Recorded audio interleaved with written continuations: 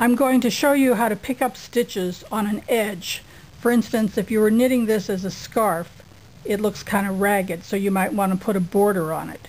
And this is the way you do it. I always use either a double pointed needle or a circular needle, just so that I can slide the stitches back and forth. And I always use a much smaller needle than the one that you've used for your actual knitting. It's easier to pick up the stitches that way. So what you do is you take your needle, your smaller needle, and just go into every stitch and put it onto the needle.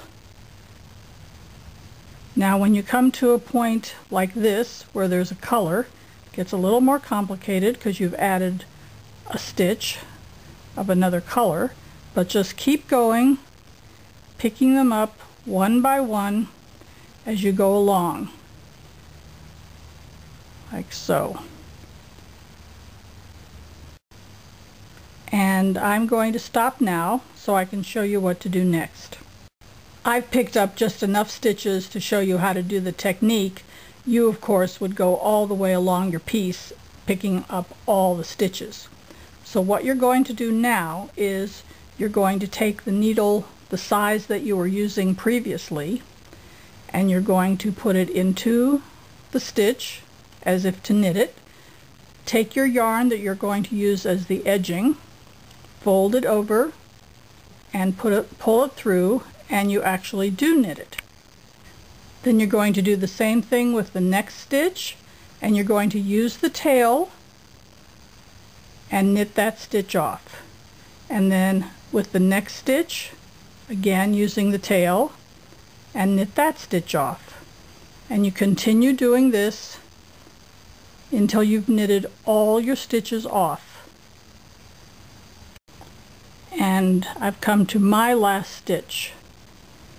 Now you have all the stitches on the needle and you have to decide what to do. You're going to turn the work around and taking another needle of the same size you're going to knit or purl back. I would suggest for starters to do a knit back which will give you the garter stitch. It won't roll or curl or turn in. It's perfect for an edging.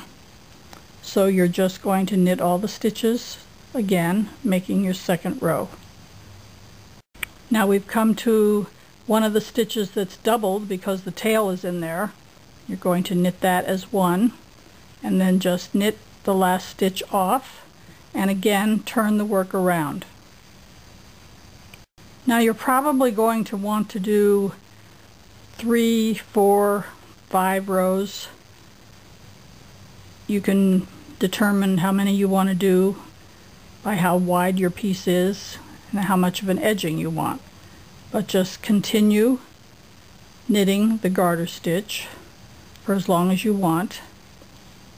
And if you were going to do a different edging, say a picot edging, you would have knit the stockinette stitch for a few rows and done the picot edging, which you can see on my how to do a picot edging video.